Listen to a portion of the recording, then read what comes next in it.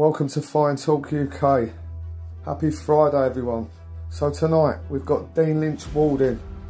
in. In less than four weeks, Dean Lynch Ward's going to fight Decca Heggie, a well-known bare knuckle boxer, heavyweight.